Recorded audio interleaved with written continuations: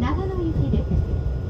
停車駅は菊田多治見恵那中津川人福島塩尻松本篠ノ井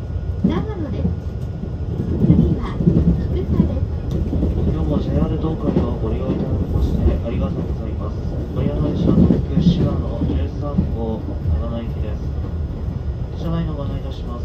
本日列車は10両編成での運転です。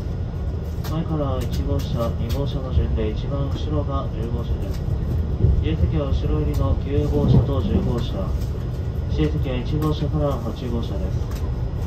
1号車と7号車はグリーン車となっております。モーレ車特急列車です。乗車券の他に特急券が必要です。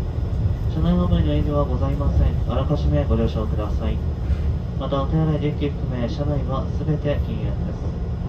お手洗いの設備は1号車、3号車、5号車、7号車、9号車奇数号車の後ろ寄りのデッキにございます。お先の停車駅と到着予定時刻のご案内いたします。次の畜産13時6分多治見13時23分。上野13時42分中津川13時50分。木曽福島14時24分。塩尻14時54分。松本15時5分。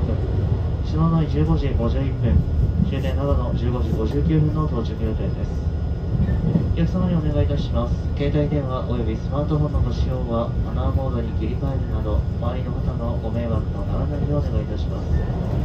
また危険物の持ち込みは禁止されております。不審な荷物不審な行為にお気づきの場合は乗務員または園係員までお知らせください。またいたします。乗務員 JR 東海イミグレーションで首相持ちま、途中の終止量でご案内をいたします。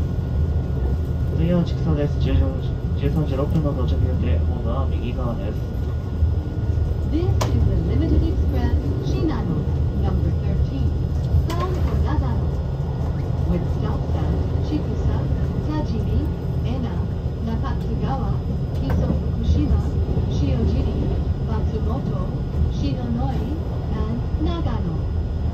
The next stop is Chikusa, CF3. Thank you. 国際お客様にお願いをいたします新型コロナウイルス感染症拡大防止のため車内ではマスクの着用にご協力いただき会話が極力お控えいただきますようお願いいたしますまた恐れ入りますが座席を向かい合う選手のご利用はご遠慮ください皆様のご協力をお願いいたします